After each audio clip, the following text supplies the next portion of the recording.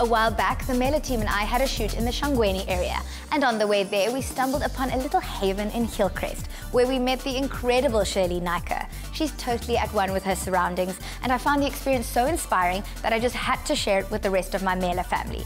Karishma decided to take up my suggestion, and she headed for Hillcrest.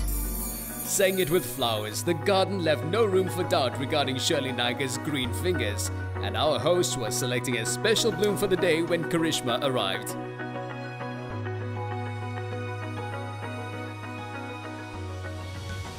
Zakia couldn't stop talking about a beautiful church and cafe that she happened to stumble upon in Hillcrest, I knew it had to be top of my to-do list the next time I was in Durban. Thanks, Zach, because looking around, looks like I'm in for a real treat. As a pastor, Shirley devotes Sunday mornings to a service in the chapel, with candles adding to the glowing colors brought from her flower beds.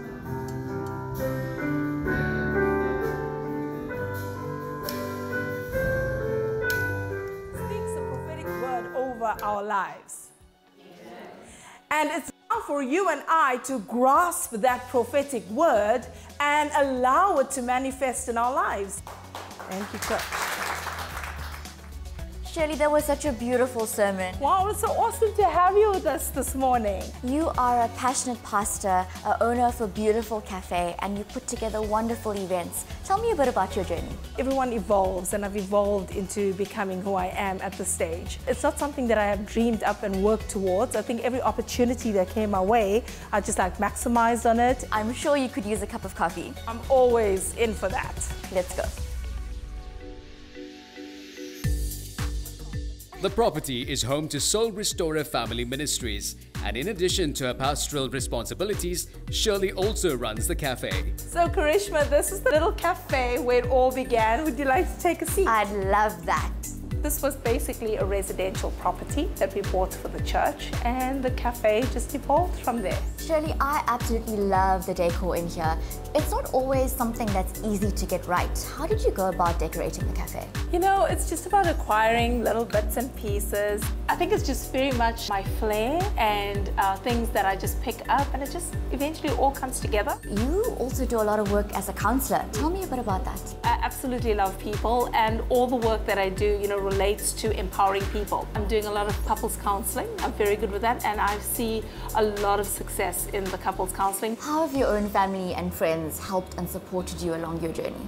I believe very much in the Ubuntu principle. You are what you are because of other people. I really hold dear to that. I have an amazing family. My husband is incredibly supportive. I am who I am because he's encouraged me to be the person that I am. How did events planning weave its way into your already very busy schedule? We generally very hospitable people. It comes naturally. So it really stems from, from that. I always believe whatever's in your hands, you could use that to take it to another level. And what do you love most about events? I'm very happy to see other people making memories. Like, for example, when we do weddings here, that is one of the biggest events in one's life. So I take it very seriously and I do the whole coordination for the wedding personally. By the way, uh, we're actually holding an event today. Actually, I actually have to check on that. Would you mind if I tag along and watch you work? Absolutely, I'd love for you to be with me.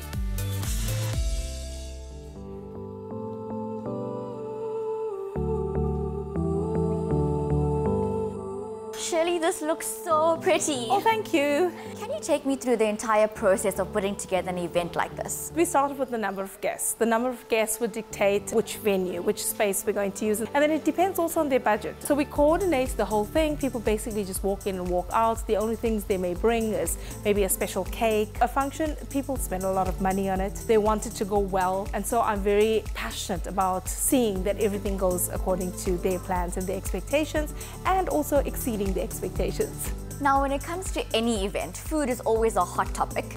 How did you go about curating the menu for not only the cafe, but for each of your events? I think it all lies in the tasting. So how about you and I go and have some? Well, I'll never say no to a piece of cake.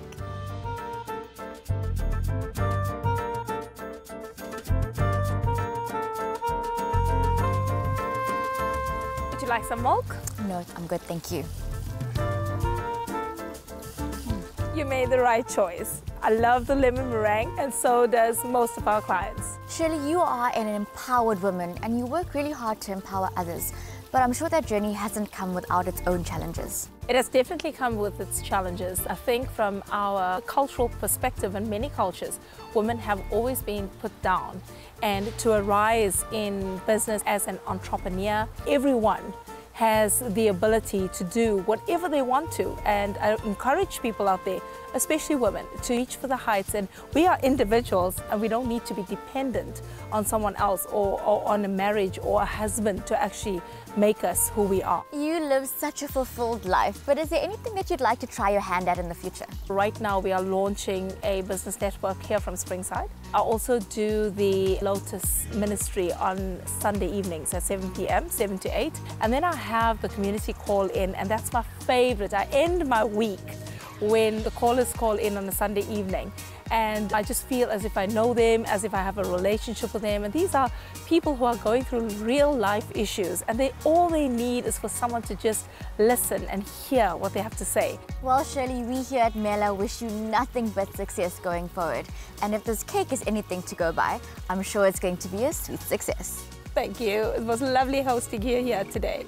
A few hours later, Shirley was behind the microphone, welcoming her listeners with the same warmth and energy as she brings to her ministry, the cafe, and her garden. Good evening and welcome to yet another Power Hour. We have a very interesting and exciting show tonight. Be expectant this week for miracles to take place. This is Pastor Shirley Naicker for Gospel Hour here on Lotus FM.